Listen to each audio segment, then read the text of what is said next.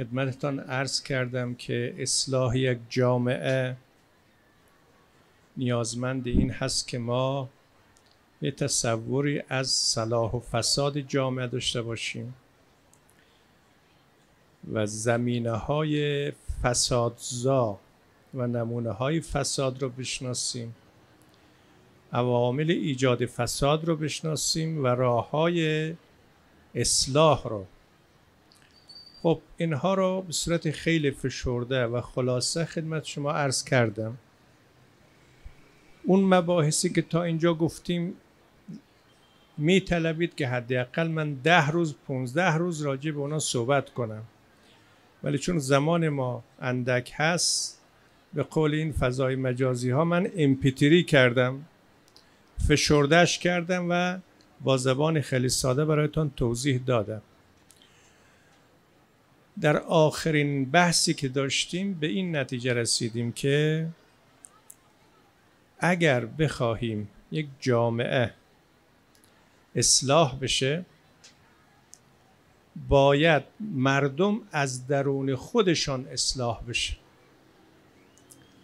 اون چی که در درون انسان باعث فساد میشه همون هواها و کششهای نفس انسان هست.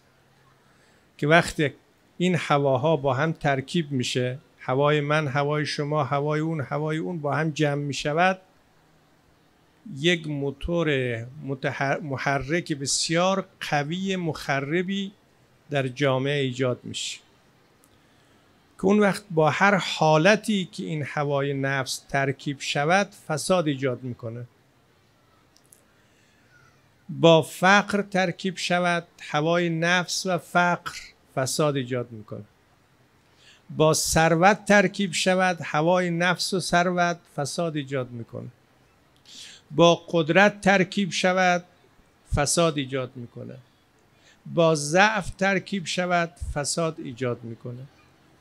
خلاصه این هوای نفس در هر حالتی وقتی بر رفتار انسان مسلط میشه باعث فساد میشه. و عرض کردیم که اگر بخواهیم این هوای نفس یا این شهوات و این کشش های محرک مخرب را کنترل بکنیم چند چیز رو باید بهش توجه بکنیم. یاد مرگ یاد از بین رفتن نعمت ها و یاد ضعف ها و کاستی ها و عبرت گرفتن از هوسرانان و شناخت فلسفه وجودی و آفرینش خود اگر به اینها باور کنیم یک مقداری اون هواهای نفس محدود میشه و تحت کنترل قرار می‌گیره. اینا امور است که می‌شود تجربه کرد. شما اگر واقعا به مرگ باور کنید یعنی خودتان رو مرده فرض کنید اون وقت می‌بینید چه تحولی در درون شما ایجاد میشه. دل شما از همه این لذت ها کنده میشه. از همه این جاذبه ها دلتان کنده میشه. بی جهت نیست که پیامبر اکرم فرمود اذکرو حادم اللذات. اون منحدم کننده لذت ها رو همیشه به یاد داشته باشید. سوال کردن که منحدم کننده لذت ها چیه؟ گفت ذکر الموت. یاد مرگ. یاد مرگ همه لذت ها را از انسان سلب می‌کنه. سعی کنیم این یاد مرگ رو که یک واقعیت انکارناپذیر هست همیشه در خود زنده نگه داریم.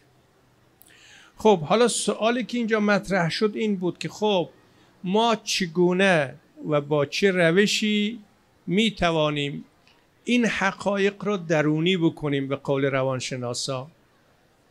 چگونه یاد مرگ را همیشه در دل خود زنده نگه داریم؟ چگونه نگاه عبرت بین پیدا کنیم نسبت به هوسرانان و شهوترانان؟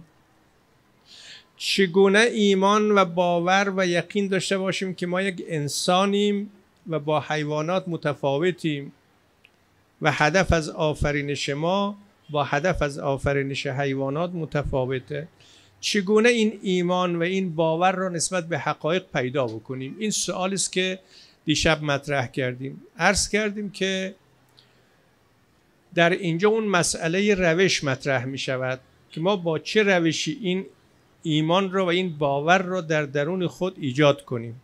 خب قرآن کریم به ما یک روشی پیشنهاد می‌کند به اسم امر به معروف و نهی از منکر. در آیات متعدد خداوند مسلمان ها را هم توصیف می‌کند و هم تشویق می‌کند و هم موظف می‌کند که امر به معروف و نهی از منکر کنند. آیاتش رو دیگه بلدید نیازی به گفتن نیست. ابی عبدالله الحسین هم از همین روش برای اصلاح جامعه استفاده می کند اما این روش چیه واقعا؟ امشب می‌خوایم راجع به همین امر به معروف و نهی از منکر یک مقداری با هم صحبت کنیم. یک مقدار باز کنم این مطلب را.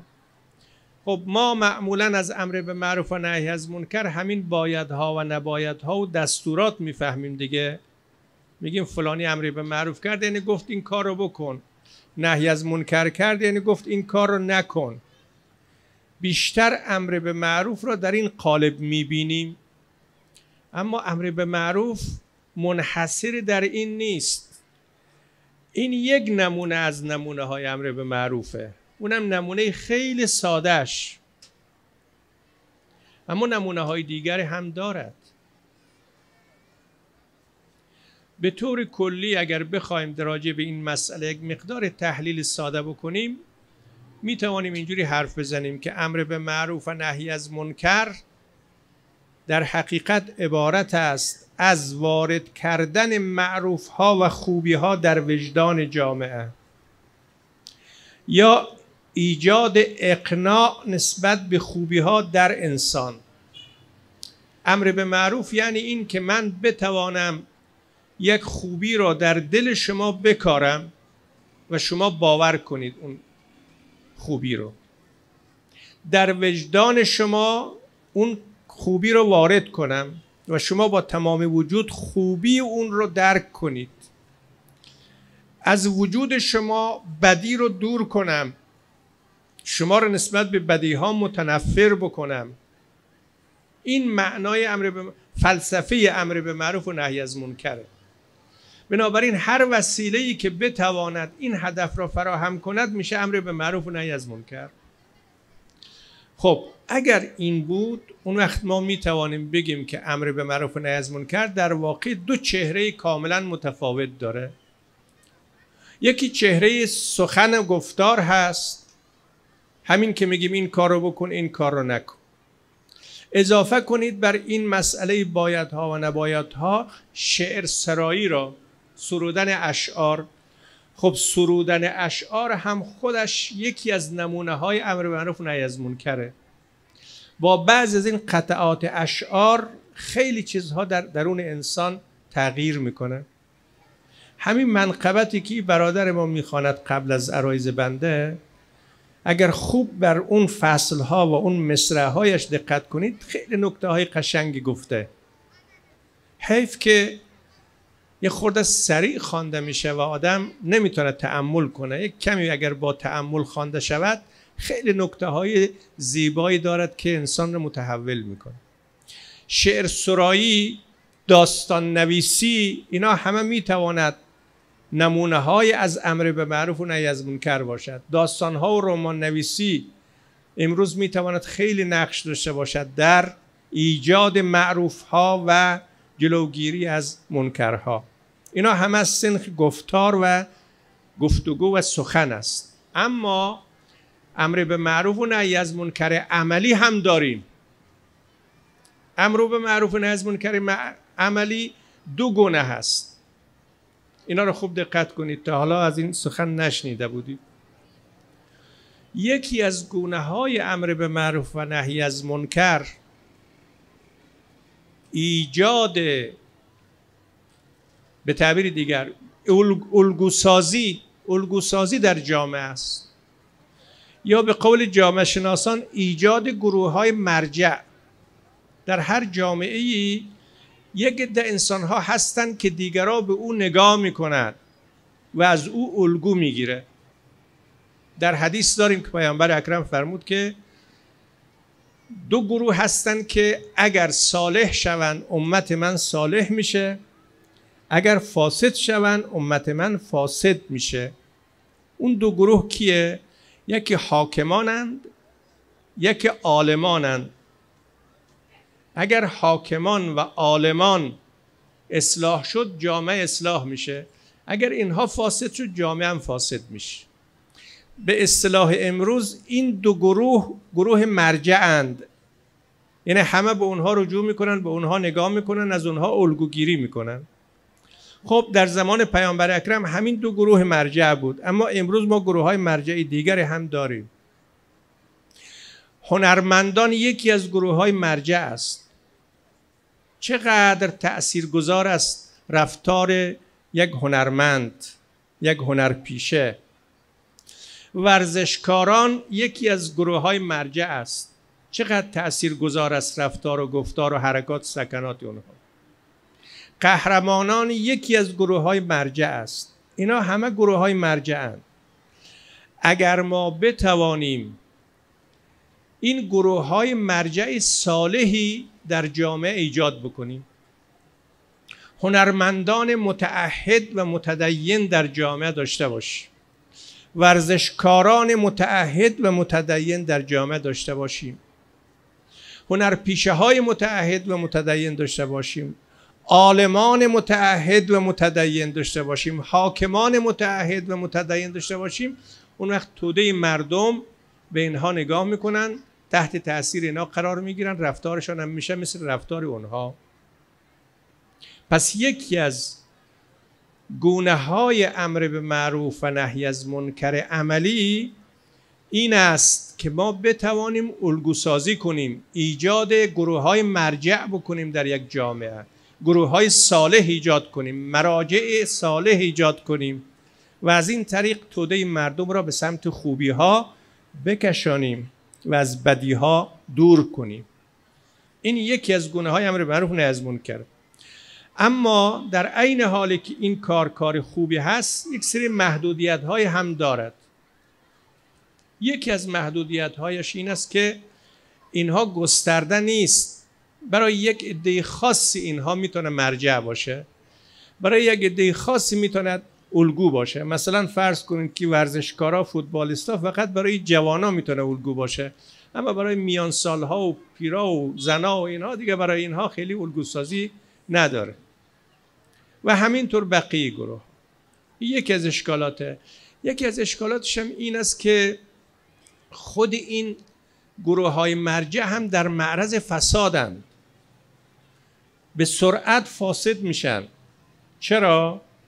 چون که اون هوای نفس اون محرک مخرب در درون اینها از بین نمیره. به محضی که شهرت پیدا می‌کنن خودشون گم می‌کنن فراموش می‌کنن که کیه. اون وقت دیگه گرفتار هزار مشکل میشه. پس در عین حالی که این کار می‌تواند یکی از راه های امر به معروف و نهی از منکر باشد اما در عین حال یک سری محدودیت های هم دارد. اما گونه دوم که بسیار بسیار مهم است و ما به شدت به او نیاز داریم عبارت است از ایجاد رشد فکری در جامعه. ما باید برای اینکه بتوانیم مردم را نسبت به معروف ها و خوبی ها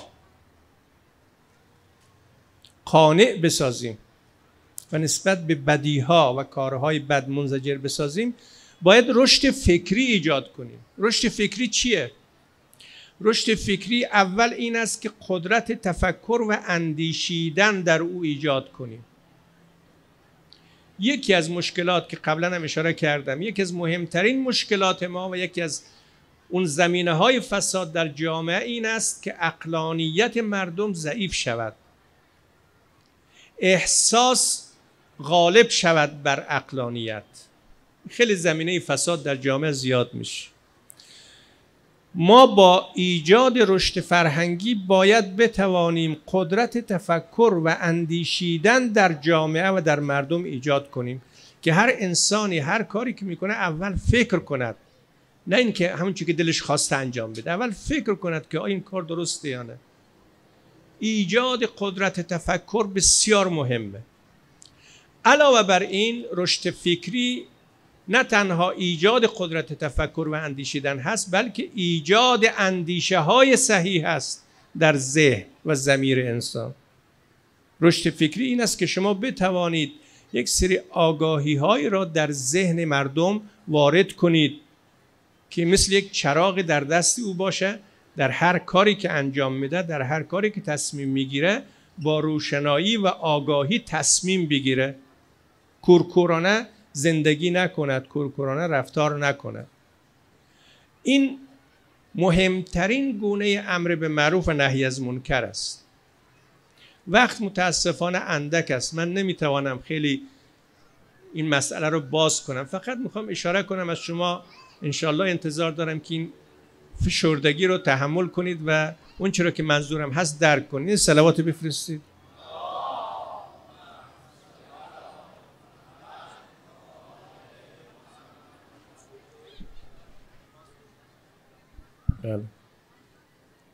خب پس گونه دوم و بسیار مهم و مؤثر امر به معروف و نهی از منکر چی شد؟ ایجاد رشد فکری در جامعه. که ایجاد رشد فکری هم به معنای ایجاد قدرت تفکر و ایجاد افکار صحیح و اندیشه های صحیح در ذهن و زمیر مردمه. خب این کار رو چگونه میشه انجام داد؟ این رشد فرهنگی رو چگونه میشه ایجاد کرد؟ مهمترینش تعلیم و تربیت. مهمترین راه ایجاد رشد فکری در مردم تعلیم و تربیت. اما تعلیم و تربیت چیه؟ ما معمولا از این دو واژه کلاس درس می‌فهمیم منبر می‌فهمیم سخنرانی فلان عالم می‌فهمیم. اینا هست. اینها هم تعلیم و تربیته اما همه تعلیم و تربیت اینا نیست امروز گونه های دیگری از تعلیم و تربیت هم وجود پیدا کرده است و پدید آمده است که بسیار مؤثرتر است از این کلاس ها و منبرهایی که شما تا حالا دیدید اونا چیه؟ فیلم سریال تئاتر فضای مجازی اینها همه ابزارهایی هستند برای تعلیم و تربیت. کار را که یک فیلم می‌کند صد تا سخنرانی شاید نکند. کار و تاثیرگذاری که یک سریال در ذهن زمیر مردم دارد شاید ده ها سخنرانی نداشته باشه. اینو دیگه خودتون تجربه کردید می‌دانید دیگه. نیم ساعت پای سخنرانی میشینید ده دقیقه چرت می‌زنید. ولی وقتی که فیلم نگاه می‌کنید دو ساعت فیلم نگاه می‌کنید اصلا با تمام وجود نگاه می‌کنید. این نشان دهنده چیه؟ این نشان دهنده این است که او تاثیرگذارتره فیلم و سریال و تئاتر و فضای مجازی و امثال اینا همه ابزارهای تعلیم و تعلم با اینها هم می شود دنیاگرایی رو تعلیم داد هم می شود آخرتگرایی رو تعلیم داد. با اینها هم می شود اخلاق و فضائل انسانی رو تعلیم داد. با اینها هم می شود رضائل و فحشا و فساد را تعلیم داد. اینا ابزارهای تعلیمن. بستگی دارد که ما چگونه ازش استفاده بکنیم.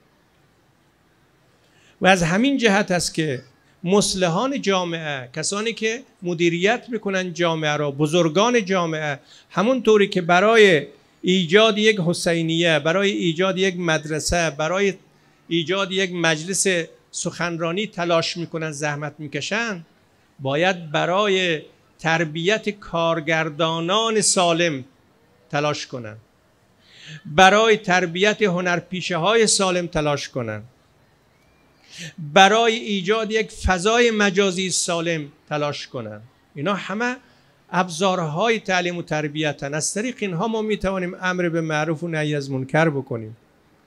در گذشته نبوده اینها ولی امروز هست. شاید در آینده ابزارهای جدید دیگری هم پدید بیاد. ما باید با زمان زندگی بکنیم دیگه. اینها رو ما باید جدی بگیریم. خیلی خوشحالم که در یک همچی جمع بزرگ و با عظمتی خواهران و برادران میان. به این سخنانی حقیر که هیچ معنا و محتوایی هم ندارد گوش میدن. ولی انگیزه و اندیشه اون ابزارها فراموش نشود. اونا خیلی مهمه. باید کار کنیم راجع به اونها. اما نکته ای که هسینه که تعلیم و تربیت با همه این ابزارها وقتی می‌تواند وسیله امر به معروف و نهی از منکر باشد که در یک شرایط عادی قرار داشته باشد جامعه. در یک وضعیت عادی باشد. یعنی امکانات باشد فرصت باشد قدرت باشد. اون مدیران می توانند این برنامه ها رو سامان بدن و گونه ها و راه های مختلف ایجاد معروف و انزجار از منکر رو ایجاد کنند. اما اگر جامعه در یک شرایط غیر عادی قرار داشت یعنی این امکانات فراهم نبود. حکومت یک حکومت فاسدی بود. مثل حکومت یزید. مسلحان قدرت نداشتند که برنامه ریزی کنند مردم هم در سایه یک حکومت فاسد زندگی می‌کردند و دست و بال مسلحان بسته بود. در چنین وضعیتی چگونه می شود امر به معروف و نهی از منکر کرد؟ دیگه اونجا مسئله تعلیم و تربیت و نمی‌دونم ایجاد هنرپیشه و کارگردان و اینها برای مسلحان خیلی ممکن نیست. اینجاست که به یک گونه دیگری باز از امر به معروف نهی از منکر می‌رسی. و او چیه؟ و او عبارت است از ایجاد یک انقلاب و تکان و تپش جدی در روح و روان مردم. این جامعه که خمار دنیا زدگی هست. این جامعه ای که از ارزش ها و خوبی ها فاصله گرفته و بدی ها برای او عادی شده. عادی شده. یک روز عرض کردم فساد جامعه امام حسین تنها این نبود که یزید حاکم شده بود. بدتر از او این بود که مردم راضی بودن به او. مردم او را خلیفه رسول خدا می‌دانستند. در این حد جامعه فاسد شده بود. این ارزش ها کلا وارونه شده بود. ارزش های دینی کلا عوض شده بود. اون چی که پیامبر می‌گفت خوب است تبدیل شده بود به بدی بدی ها شده بود خوب. خب در یک همچنین جامعه ای امر به معروف و نهی از منکر به چیه؟ اینجا طبیعی است که امر به معروف و نهی از منکر عبارت است از یک انقلاب روحی و معنوی در جامعه. باید یک حادثه ای ایجاد بکنید که مردم از نظر روحی و ذهنی تکان بخورن از خواب بیدار شن. و این همون چیزی بود که امام حسین علیه السلام انجام داد. امام حسین علیه السلام با شهادتش و اسارت خانوادهش این حرکت رو در اون جامعه خمارزده خواب رفته خفته ایجاد کرد. راجع به فلسفه قیام ابا عبدالله دیدگاه های متفاوت وجود دارد. بعضی میگن که امام حسین قیام کرد تا حکومت ایجاد کند. این حرف غلطه. چرا؟ برای اینکه این نظریه بین هدف و نتیجه خلط کرده. هدف قیام امام ایجاد حکومت نبود. هدف قیام امام اصلاح جامعه بود. البته این اصلاح یکی از نتایجش می توانست ایجاد حکومت باش اما لزوما هدف اون نبود. بعضی از آقایون به تقلید از مسیحیت گفتند که هدف قیام امام حسین این بود که شهید شود تا گناهان پیروان و محبانش آمرزیده شود. چون آخر در مسیحیت اینجوری میگن دیگه. میگن شما هر گناهی می‌خوای بکنی بکن. همین که ایمان به مسیح داشته باشی همین کافیه. چرا؟ چون مسیح به صلیب رفت تا گناهان رو بشوید. بنابراین شما مجازید. هر غلطی می‌کنی هر گناهی می‌کنی تجاوز می‌کنی به جان مردم جنایت می‌کنی هر کاری که می‌کنی اشکالی ندارد مسیح گناهان شما را می‌شوید. از این سخن آمدن کپی برداری کردن راجع به قیام امام حسین. گفتن امام حسین هم شهید شد تا گناهان پیروانش را ببخشد. اینم غلطه. امام قیام نکرد که گناهانش را ببخشد. بله یکی از آثار قیام امام حسین و شهادت امام حسین البته این هست که یک عده میان در راه امام حسین در عزاداری امام حسین و با گریه کردن در عزای امام حسین متحول میشن تحول وجودی پیدا می‌کنن. جوهر روحشان عوض میشه. اون وقت گناهانشان هم بخشیده میشه. که ما داریم از اینجور افراد در تاریخ زیاد داریم. دزد گردنگیر بوده اما یک تحول روحی در مجلس اعضای امام ایجاد میشه. درش می‌بینید یک از صالحان می‌شود. آدم فاسد بوده است. یک بار یک روزه ای رو از روزه ها میشنود متحول می‌شود یک انسان دیگری می‌شود. اینجور انسان ها با او تحولی که به وجود میاد در واقع توبه عملی می‌کنن یعنی عملا و وجودا توبه می‌کنن خب توبه هم که باعث آمرزش گناهان دیگه. به این معنا درسته. اما با این معنا که شما هر کار مجاز بکنی فقط یک گریه بکن کافی گناهان شسته میشه چون این چیزی در اسلام وجود نداره. اسلام برای شستن گناه یک راه دارد و اون توبه است استغفاره. حالا این توبه و این تحول وجودی با گریه کردن و حضوری در مجلس اعضای ابا عبدالله ایجاد بشد ممکنه. در غیر او ایجاد شود بازم ممکنه. مهم این است که این تحول وجودی ایجاد بشه. به هر حال این نظریه هم نظریه نادرستی است. علاوه بر این که یک اشکال دیگر هم دارد. اون اینه که باز این در این نظریه هدف و نتیجه با هم اشتباه گرفته. هدف امام شهید شدن نبود. هدف امام اصلاح جامعه بود. البته نتیجه این اصلاح جامعه نتیجه این حرکت اصلاحی ممکن بود شهادت هم باشه. در قضیه کربلا نکته های بسیار مهمی وجود دارد. حیف که فرصت نیست که اینها رو توضیح بدیم. در مکه وقتی که امام حرکت می‌کنه به سمت کربلا یک عده از این روشنفکرای زمان امام که عافیت طلبی را اصل می‌دانستن و مثل امام خطر رو درک نمی‌کردن به امام مشورت می‌دادن. می‌گفتن بهتر از به سمت کوفه نری. برو به سمت یمن برو به یک صحرای دورافتاده برو از دست یزید خلاص بشی اینا فکر جان امام رو کرده بودن. در حالی که امام هم می‌دانست که کوفه چجور جامعه ای هست. او در او جامعه زندگی کرده بود در زمان پدر امیر المؤمنین در کوفه زندگی کرده بود. می‌دانست مردم کوفه چجوری هم. روانشناسی مردم کوفه رو می‌دانست. جامعه شناسی مردم کوفه رو می‌دانست. پایبندی و وفاداری اونها رو می‌دانست. اما در عین حال به این مشورت ها عمل نکرد. در مسیر وقتی به سمت کوفه می آمد یک عده که از کوفه برمیگشتن با امام مواجه می شدن امام ازش می‌پرسید مثل فرزدق که چگونه یافتی کوفه را؟ گفت دلهای مردم با شماست اما شمشیرهایش علیه شماست. خب انسان عادی اگر باشه میگه خب حالا که اونا اینجوریه پس ما برگردیم دیگه. اما امام باز هم بر نمیگرده. چرا؟ این حرکت امام خیلی نکته داره ها.